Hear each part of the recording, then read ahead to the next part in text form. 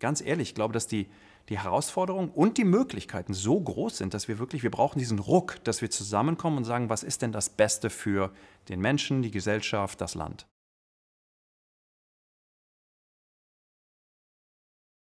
Ich habe eher viel im Bereich Entrepreneurship verbracht. Ich habe die letzten 15, fast 20 Jahre in diesem Bereich verbracht. Ich habe Accelerators aufgebaut, Venture-Fonds geleitet etc. Ähm, und ich bin zu der Überzeugung gelangt, dass Entrepreneure und ihre Companies, äh, ihre Unternehmen super wichtig sind, überwiegend als Provokateur. Ab und zu findest du halt ein Unternehmen, das halt auch groß wird und skaliert, ja, also die Facebooks, der Mark Zuckerbergs dieser Welt. Ähm, überwiegend passiert das aber nicht, weil Skalieren irrsinnig schwierig ist.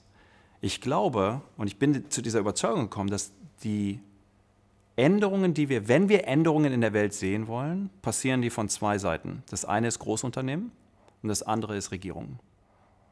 Das mag, das ist interessant für mich, weil das so ein, so ein Come-to-Jesus-Moment für mich war, weil ich halt für, wirklich für 15 Jahre irgendwie das Flag, die Flagge hochgehalten habe, Entrepreneur Change the World.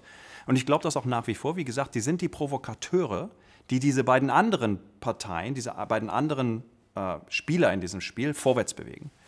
Das Beispiel, was, was mir das am meisten beigebracht ist, ist in den USA hat ähm, Walmart, die ja nun äh, zu Recht kritisiert werden für ihre äh, Arbeitspraxen etc., ähm, sich aus irgendeinem mir nicht bekannten Grunde entschlossen, keine, ähm, keine normalen äh, Lightbulbs, ähm, äh, Lightbulbs zu verkaufen, ja, sondern nur noch äh, zuerst Neon und später äh, LEDs zu verkaufen. Und weil äh, Walmart so viel Marktkraft hat, haben die im Grunde den gesamten US-Markt gezwungen, nur noch LEDs zu verkaufen. Du kannst in den, US in den USA kannst du in den Laden gehen. Es ist schwierig, ganz normale äh, Lightbulbs zu kaufen. Du kriegst die nicht mehr. Es ist halt diese Macht, die dieses Unternehmen hat, ja, in die richtige Richtung gelenkt, hat einen irrsinnigen, eine irrsinnige Treibkraft. Deswegen verbringe ich jetzt relativ viel Zeit eben mit Großunternehmen und Regierungen, um zu, um zu versuchen, die von innen heraus so ein bisschen zu verändern. Energie ist super spannend. Und zwar Uh, was bei, bei, Energie passiert ist, dass du halt auf der einen Seite konventionelle Energie hast, also uh, Carbon-basiert, ähm, Kohlenstoffbasiert, ja, also Öl, Gas, Kohle. Ähm, und diese Systeme, alle diese Energieformen sind beschränkt. Wir haben nur eine bestimmte Menge an Öl und wir hatten irgendwie in den 70ern ja schon mal Peak Oil und dann in den 80ern Peak Oil und so weiter. Und ähm, wir basieren eben unsere, unsere Preismodelle basieren eben auf der Idee, dass es nur so und so viel Öl gibt oder so und so viel Kohle gibt. Ähm, und wir auch als Menschen, weil wir energieabhängig sind, ähm, wir brauchen Energie halt für alles, ja, vom Kochen bis zum Heizen bis zum geht nicht mehr, ähm, kämpfen wir Kriege. Im Grunde kannst du fast jeden Krieg, den wir als Menschen geführt haben, darauf zurückführen, dass irgendwie am Ende Energie äh, als Kernaussage äh, dort stand. Jetzt guckst du dir an, was passiert bei den Renewables. Und wie gesagt, interessanterweise getrieben von Deutschland. Ähm, was sich aus irgendeinem Grund in den, in den äh, 90ern und den 2000ern Deutschland hingesetzt hat und gesagt, wir wollen Weltmarktführer im Bereich Solar werden, ähm, gerade im Bereich Solar und dann Wind auch, siehst du, dass die Energiepreise halt massiv fallen. Du hast jetzt 30 Länder in der Welt, wo der äh, ohne Subventionen der Preis für Solarenergie und äh, Renewables unter 30 Cent die Kilowattstunde ist. 30 Cent die Kilowattstunde ist so der Richtwert, den wir sagen, das ist so die billigste Form von Energie, die wir im Moment haben. 30 Länder, inklusive zum Beispiel Kalifornien, wo ich lebe. Was bedeutet, dass wir in so einen Bereich kommen, wo wir Energie im Grunde extrem günstig erzeugen können und auch extrem viel erzeugen können.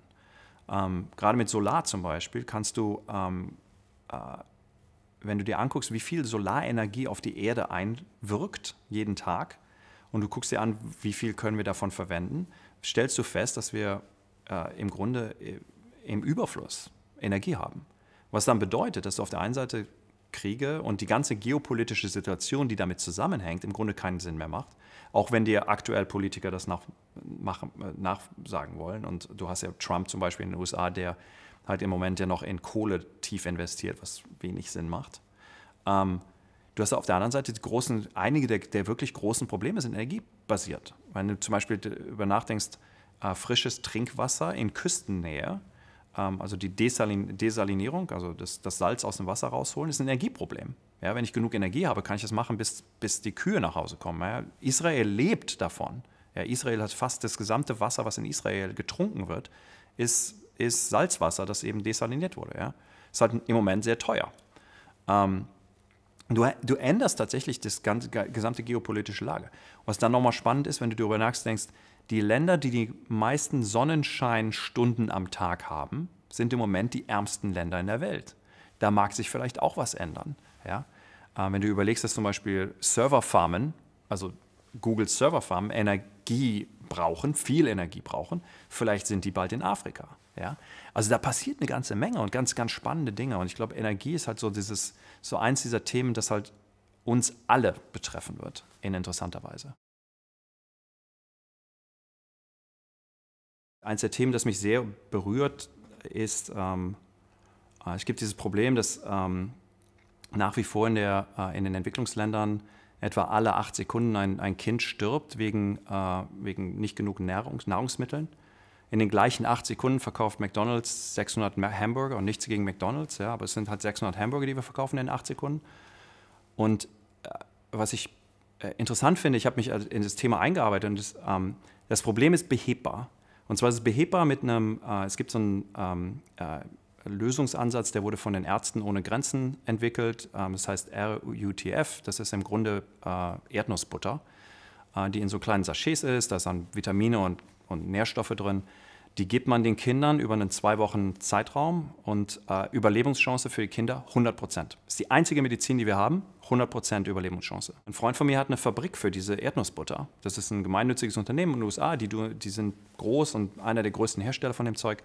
Und ich habe ihn kürzlich gefragt, ich habe ihn mal gefragt, irgendwie, okay, das Problem besteht nach wie vor, es wird besser, aber es besteht nach wie vor. Wie viel Geld müssen wir als Gesellschaft global dafür ausgeben? An meine Annahme war, das muss ja riesig hoch sein, weil wir haben es nicht gelöst. Problem besteht nach wie vor. Und er guckt mich an und sagte, sie hätten das mal ausgerechnet, relativ große Modelle gemacht, auch mit den, mit den United Nations und UNICEF und so weiter. Und festgestellt, es kostet ungefähr eine Milliarde US-Dollar. Eine Milliarde US-Dollar. Es gibt jetzt was, 7,4 Milliarden Menschen auf diesem Planeten, die wollen alle Protein und brauchen alle Protein. Äh, wenn du das tierisch herstellen willst, also vor allen Dingen Fleisch und dergleichen, dergleichen, hast du massive Probleme. Also irgendwie Kühe sind einer der größten Methanerzeuger, was eben zum Klimagas gehört, brauchen wahnsinnig viel Platz. Ähm, wir roden die, die, die, äh, den Amazonas ab, für, äh, um Kühe aufzustellen. Die brauchen wahnsinnig viel Wasser, Trinkwasser, was an anderer Stelle nötig ist. Ich glaube, was wir, die Herausforderung für uns ist, dass wir halt ähm, die, äh, unsere Kreativität und unser Wissen dafür einsetzen müssen, diese Themen zu lösen. Wir können die lösen. Ja? Du kannst heute schon ähm, Fleisch oder fleischähnliche Produkte im, in der Petrischale erzeugen. Die sind noch nicht gut, aber das werden, die werden irgendwann gut werden. Äh, du kannst äh, Farmen vertikal aufsetzen und in Containern halt große Mengen an, an Farmen erzeugen mit wenig Wasser, mit perfekten Nährstoffen.